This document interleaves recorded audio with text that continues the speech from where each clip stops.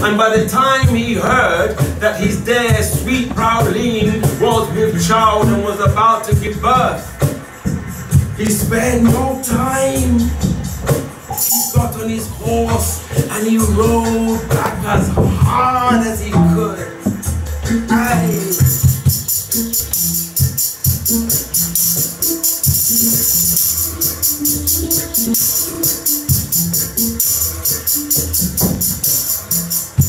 First day, Prowleen she gave birth.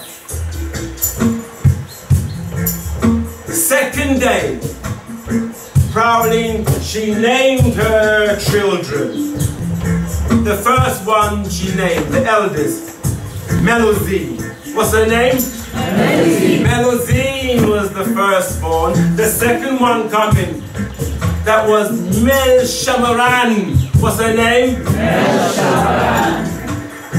And the last one, Palatine was her name. What's her name? Palatine. Triplet she had, triplet.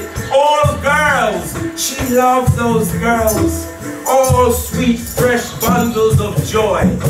Um, on the third day, Elliot came riding, riding hard, dismounted from his horse, eager to see his woman.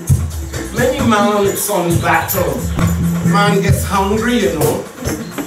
And he wants to see the fruit of his loins. So he climbs up those stairs with such a joy in his heart. He climbs up. Oh, he shouts out, Woman, my queen, my queen, show me the fruit of our labor. Show me the fruit. And he opens the door.